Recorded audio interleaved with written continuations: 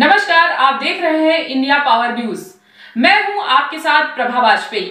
आइए डालते हैं एक नज़र यूपी की सभी छोटी बड़ी खबरों पर। देश की आज़ादी के पचहत्तरवें वर्ष को लेकर मनाए जा रहे अमृत महोत्सव के तहत हर घर तिरंगा अभियान को लेकर आज शनिवार को शहर से लेकर गाँव में भी तिरंगा रैली निकाली गई।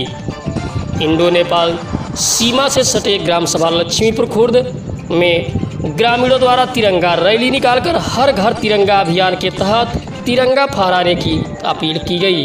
ग्रामीणों में 250 तिरंगा झंडा वितरित किया गया।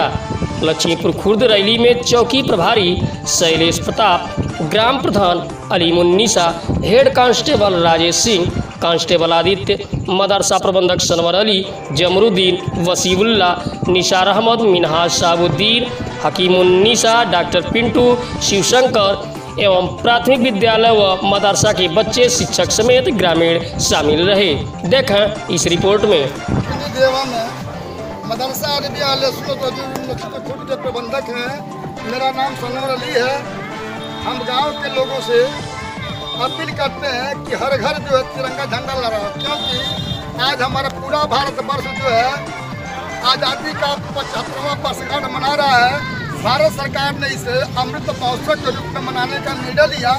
इसके निमित्त हम लोग गाँव के हर नागरिक से, हर जाति, हर धर्म, हर मज़हब के हर नागरिक से सिफारिश करते हैं। आपस में मेल मिलाप रखते हुए सौहार्दपूर्ण अपने घरों पर तिरंगा झंडा लहरावे और 16 तारीख को पुनः उसको चिन्ह के झंडे को जो है, अपने घरों में रख लें। इसी के साथ हम अपनी बात को समाप्त करते हैं। पुनः गाँव के लोगों से अपील करते हैं कि अपने घरों पर झंडा लहराना।